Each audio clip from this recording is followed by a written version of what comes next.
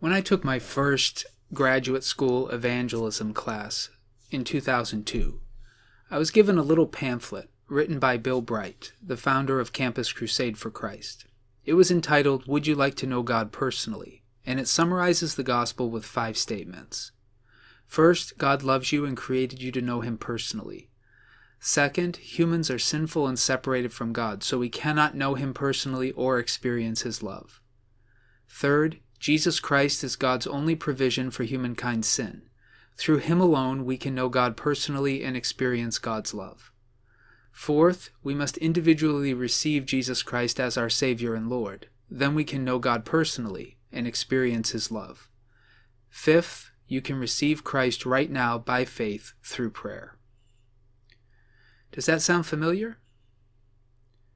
Though the words of the gospel that we've each heard were probably slightly different, that's a pretty standard summary of the way the basic gospel message has been presented in the 20th and early 21st centuries, especially in the United States of America. However, notice what this gospel presentation seems to imply.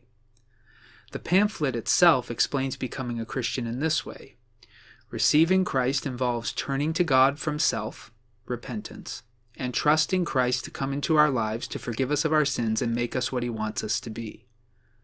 In other words, salvation and being a Christian is only active in that it is a willful choice to recognize the truth about ourselves and to accept God's provision.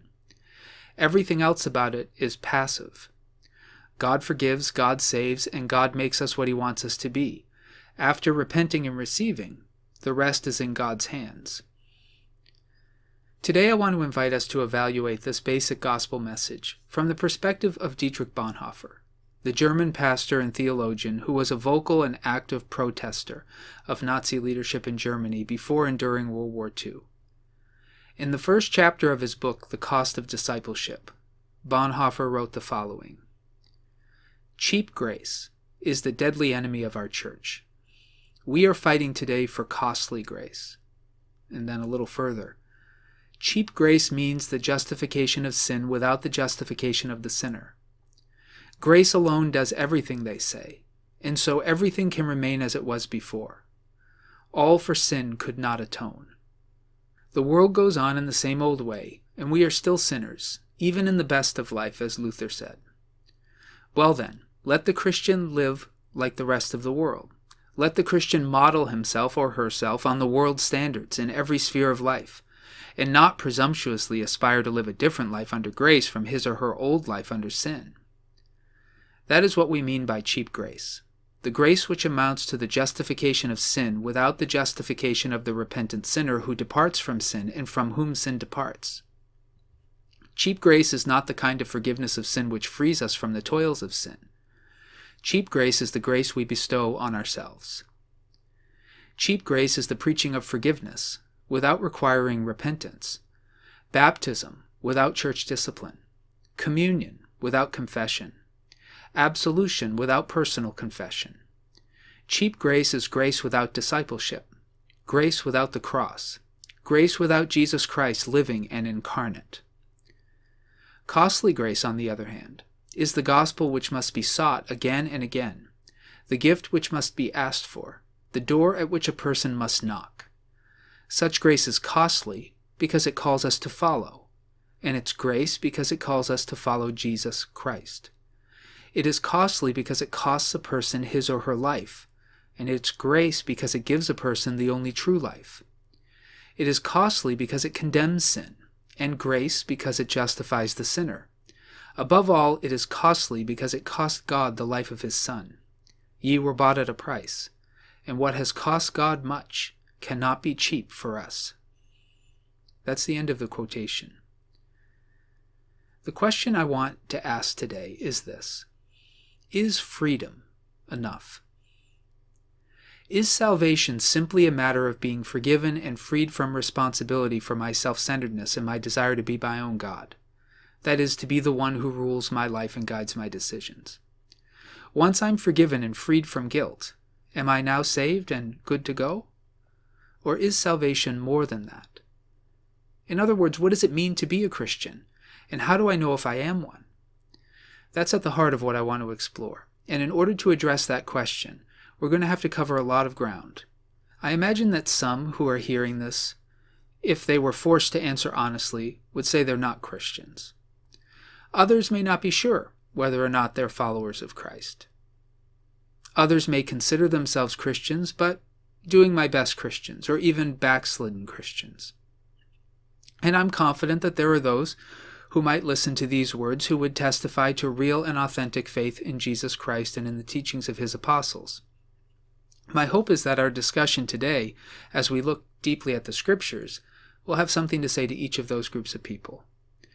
The text that will form the foundation of our discussion comes from the New Testament epistle of 1 Corinthians, chapter 9, verses 19 through 23. This is the Scripture. For though I am free with respect to all, I've made myself a slave to all, so that I might win more of them. To the Jews I became as a Jew in order to win Jews. To those under the law I became as one under the law, though I myself am not under the law, so that I might win those under the law. To those outside the law I became as one outside the law, though I am not free from God's law, but am under Christ's law, so that I might win those outside the law. To the weak I became weak, so that I might win the weak. I have become all things to all people, that I might by all means save some. I do it all for the sake of the gospel, so that I may share in its blessings. In 1 Corinthians chapter 9, the apostle Paul was engaged in defending his ministry as an apostle and an evangelist to a church that was questioning his ministry, his authority, and at times it seems even his integrity. In verses 19 through 23, Paul was attempting to explain how he evangelized and why he evangelized as he did. And in the course of that argument, Paul made two claims that drive at the heart of our question Is freedom enough? Having already made the decision to embrace the gospel of the new covenant and enter into the kingdom of heaven, Paul described his newfound freedom in Christ in two seemingly contradictory ways. We find the first in 1 Corinthians chapter 9 verses 19 and 20. Though when evangelizing Jewish people, Paul behaved as one under the law, that is, under the covenant of Sinai, Paul insisted that as a Christian he was not under law, and by extension the Corinthians were not, and we are not under law, that is, the covenant of Sinai. And that's our first point. Becoming a Christian does not mean that I am under the covenant of Sinai. But what precisely did Paul mean by this? Does this mean that Christianity is not about how we live? Are there no ethics in Christianity? Does it mean that because we are forgiven, we shouldn't live in sin, but we can live in sin without consequence? As Dietrich Bonhoeffer observed in the passage I quoted earlier, some have certainly read the New Testament to say some or all of these things. But I think Paul was arguing something else. A covenant is an ancient way of speaking of an agreement between two or more parties, which spells out the nature of the relationship and what responsibilities each party has toward the other. Sometimes these were made between people, sometimes nations, sometimes between a king or queen and his or her subjects. If the stipulations of a covenant were broken, then the covenant itself would often specify what would be done to the party that violated the agreement. The scriptures indicate that God has made several covenants with humans throughout biblical history. The first agreement between God and humanity that is called specifically a covenant is the promise God made to Noah, his family, and all creation after the great flood. Afterward, God made three agreements with Abraham, first promising to bless him and make him into a great nation, second promising him a son born to him and his wife Sarah in their old age, and third, requiring Abraham and every male in his household for all time to be circumcised. Then, after delivering the people of Israel from slavery in Egypt, God made a covenant with the Israelites at Mount Sinai that was overseen by Moses. This agreement is often called the Mosaic Covenant or the Sinai Covenant, and it's the agreement that dominates God's relationship with humanity from the time of Moses until the time of Jesus. After the people of Israel had broken the covenant of Moses over and over again, God finally brought the covenant curses on his chosen people, and the nation of Israel was destroyed, and the twelve tribes of Israel were scattered and sent into exile. Finally, in the person of Jesus, Christ, or Messiah, God himself initiated a new agreement with all of humanity, which we call the New Testament, and both Jesus and the writer of the book of Hebrews call the new covenant. It is this covenant, this agreement, that we either accept or reject when we make the decision whether or not to be a follower of Jesus, or a member of the new covenant community is another way of saying that. Notice in 1 Corinthians chapter 9 verses 19 through 20 that when Paul said that as a Christian he was not under law, he was speaking of his behavior when he would share the gospel with Jewish people. Jewish people almost always used and used the term law to refer to the covenant of Moses. Sometimes law was used to describe the first five of books of the First Testament, and sometimes the entire First Testament. But the deliverance of the Israelites from slavery in Egypt and the covenant of Moses was and is always in the forefront of the Jewish mind when they speak of the law. It seems clear that what Paul meant by law was this law, the covenant of Sinai. In other words, what Paul was saying is that in order to avoid unnecessarily offending Jewish people, Paul would observe facets of the first covenant, probably cleanliness laws, eating kosher, and other observances. For Paul, Christians do not become followers of Jesus by way of the covenant of Sinai. Becoming a Christian does not involve first becoming a Jewish person by embracing the covenant God made with Israel at Sinai. A person becomes a Christian by embracing the new agreement that God has made with all humanity in the person of Jesus, our Messiah. The covenant God made with Israel reveals what God wanted of the nation that he chose and set apart for himself, and therefore it can reveal the kind of people God wishes all humans to become. However, with St. Paul, we must confess that we are not under the covenant of Sinai. That is, we are not responsible to keep kosher laws, to make sacrifices according to the law recorded in Exodus and Leviticus, to observe cleanliness laws, and so on. And believe it or not, it is my belief that even the Ten Commandments would not be requirements for Christians if Jesus had not made them a part of his new covenant teachings, which he did in Matthew chapters 5 and 6. So becoming a Christian is not about first becoming an Israelite. Christians like Paul are not under the covenant of Sinai. But notice what this does not mean. Christians may be free from the requirements of the covenant of Sinai, but that does not mean that the Christian life is free from obligation, nor is it free from behavioral expectations, nor is it free from ethics. Paul was simply instructing us not to look for all of our behavioral norms as Christians in the covenant of Sinai. We, like Paul, have come to God through a new agreement, which has been authored, enacted, and maintained by Jesus, our Messiah. Because Christians are asked to embrace the lordship of Jesus and not the covenant that God made with Moses and the Israelites at Mount Sinai, we, along with Paul, are free from the stipulations of that covenant in our relationship with God through Jesus. Paul, having already made the decision to embrace the gospel of the new covenant and enter into the kingdom of the heavens, describes his newfound freedom in Christ in two seemingly contradictory ways. The first is that becoming a Christian is not about becoming responsible to keep the covenant of Sinai, which we find in Exodus, Leviticus, Numbers, and Deuteronomy. We find the second in 1 Corinthians chapter 9 verses 21 through 23. Paul indicated in these verses that when sharing the gospel with Gentiles who had not been given a written agreement from God, Paul behaved as one who likewise had not been given a written agreement. That is, Paul, in his own practice, did not expect Gentiles to live in light of God's revealed will, since God's will had not been clearly revealed to them. Even so, Paul reminded his readers that as a Christian, though he was free from the covenant of Sinai, he was not free from God's law, but was under the law of Christ. And that's our second point. Becoming a Christian does mean that I agree to place myself under the law of Christ. But again, what did Paul mean by the law of Christ? There's quite a bit of confusion in the church surrounding this question for a variety of historical, philosophical, and theological reasons, many of them biblical. Passages such as John chapter 1 verse 17, which says for the law was given through Moses, grace and truth came through Jesus Christ and Romans chapter 6 verse 14, which says, For sin shall not be your master, because you are not under law, but under grace. Passages like this have led many in the church to believe that there is an either or relationship between law and gospel, or salvation by works and salvation by grace. That is, either we are under law or we are under grace. Salvation either involves us doing something or it does not. The two poles are almost antagonistic for many.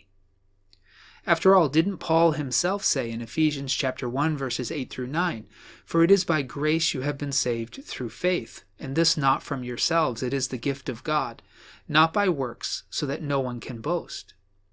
So if salvation is not by works, then I must be a passive recipient, as our gospel pamphlet has explained, right? But why then did Paul say that he was not free from God's law, but was under the law of Christ? Is the law of Christ a misnomer? That is, is Christ's law no law at all? Is Christ's law the law that I am not under any behavioral obligation whatsoever? Neither I, nor in my opinion Dietrich Bonhoeffer, believe this is what Paul intended to imply.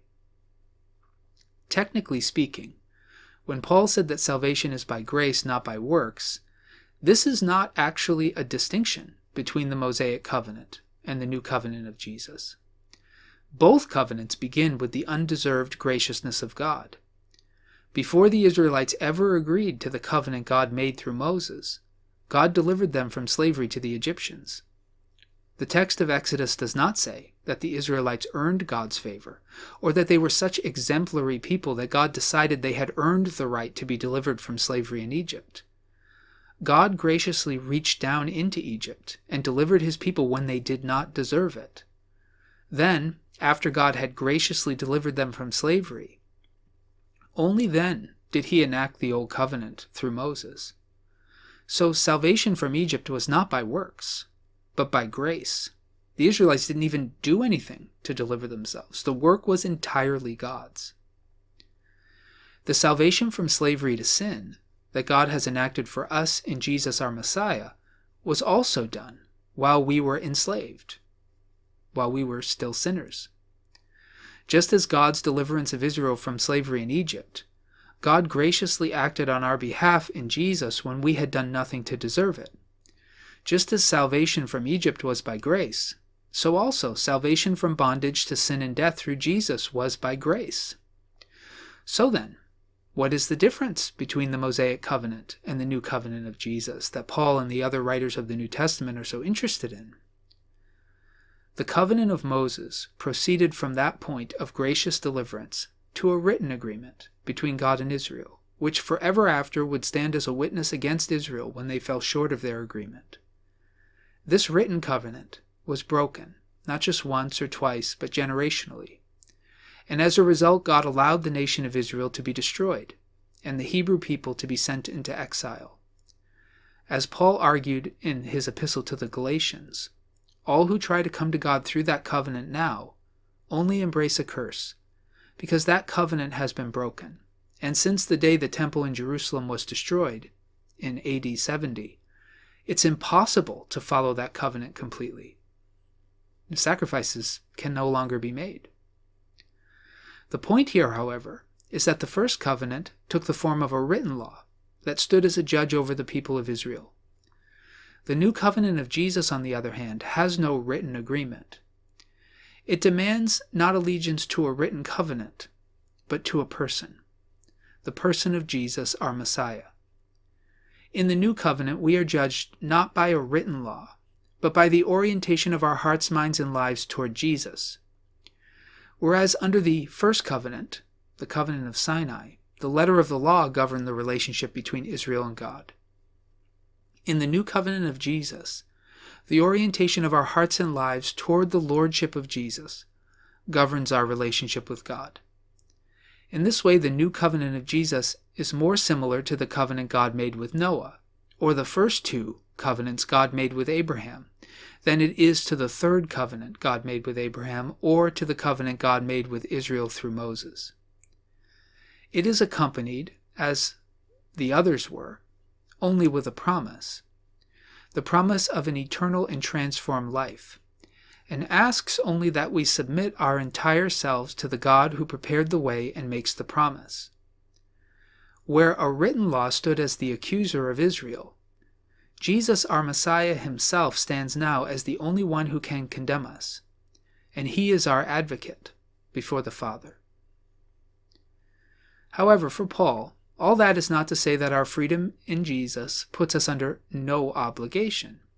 Faithfulness to Jesus still means that we commit ourselves in all we do, say, and think to live in the same manner that Jesus lived, and to live a life consistent with his teachings and the teachings of his apostles.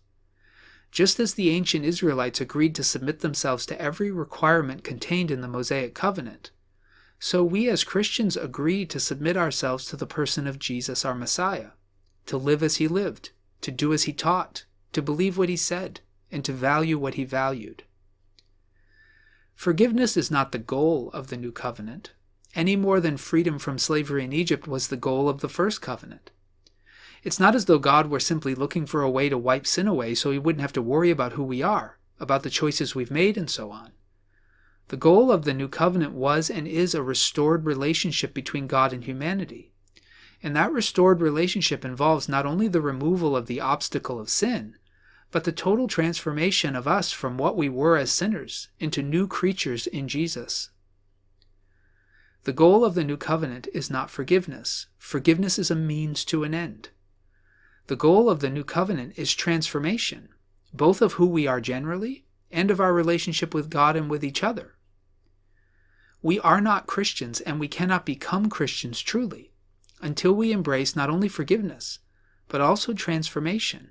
That is, we must actually follow Jesus to the cross, that is, to the deaths of our old selves, and be born again.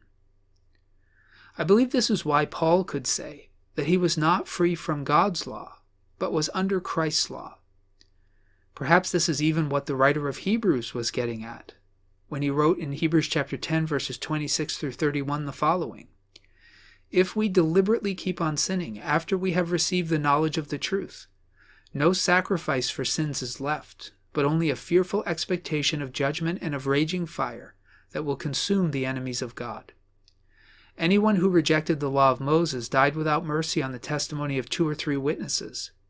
How much more severely do you think a man deserves to be punished who has trampled the Son of God underfoot, who has treated as an unholy thing the blood of the covenant that sanctified him, and who has insulted the Spirit of grace?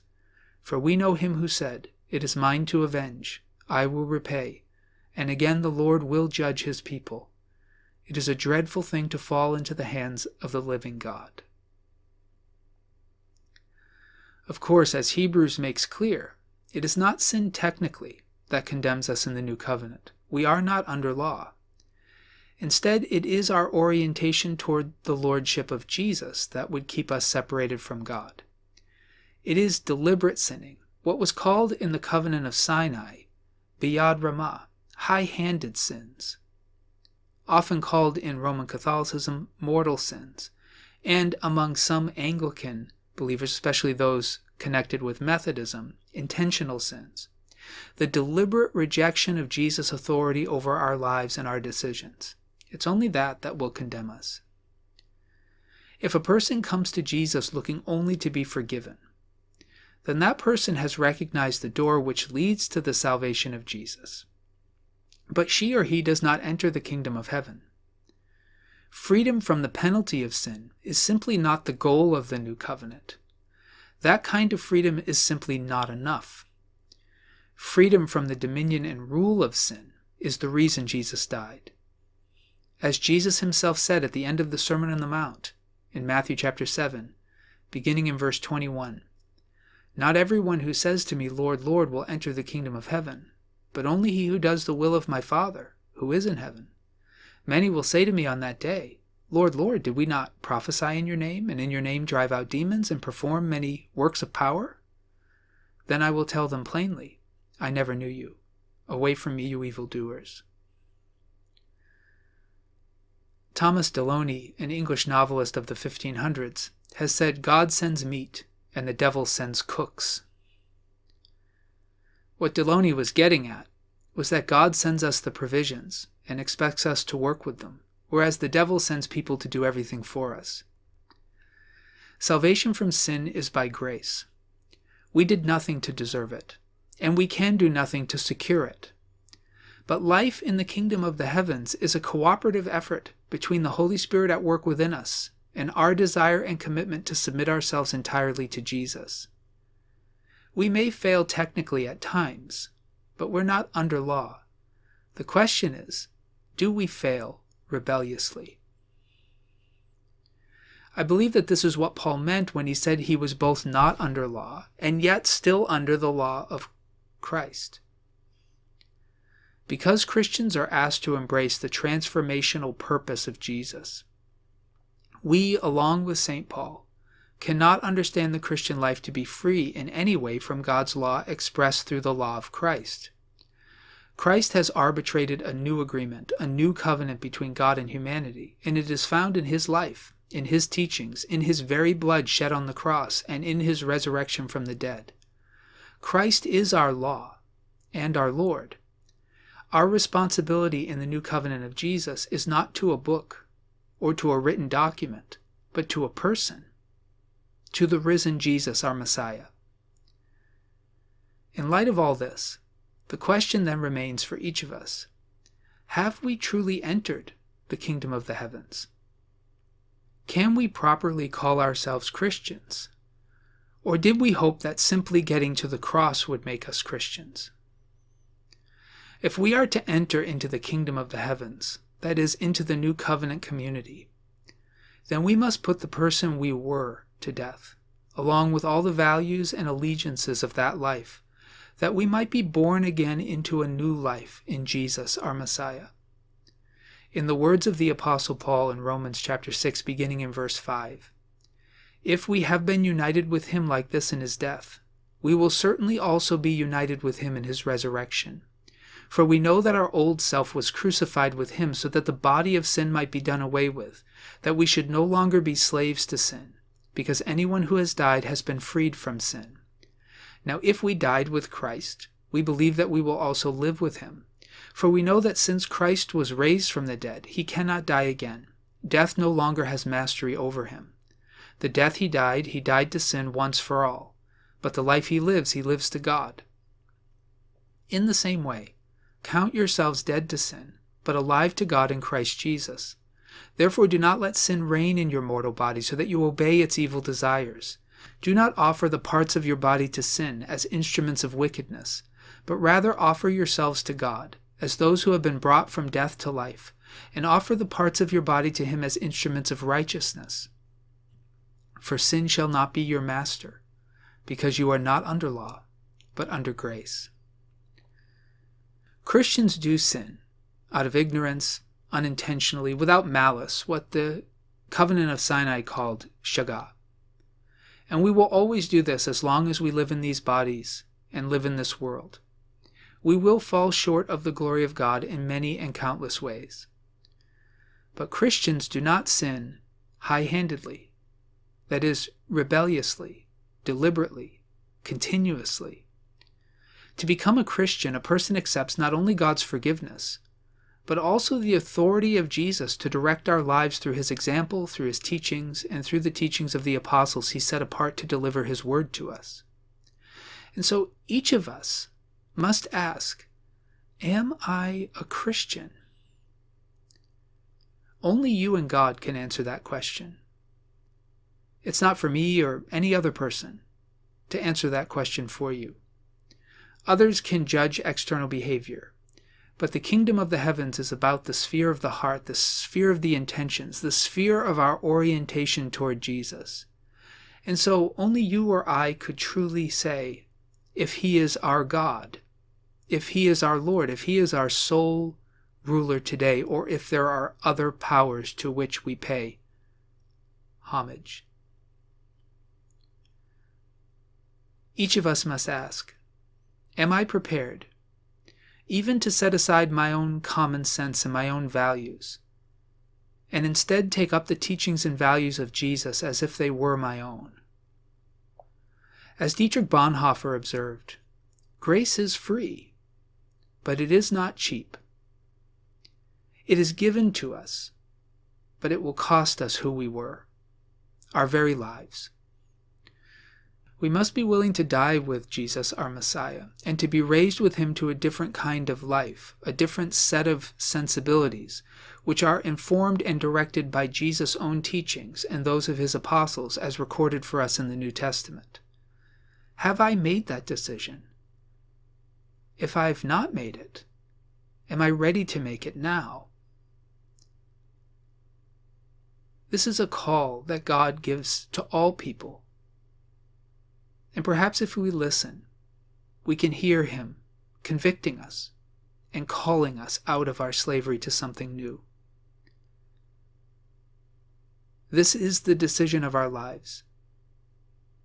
It is in many ways why we were created.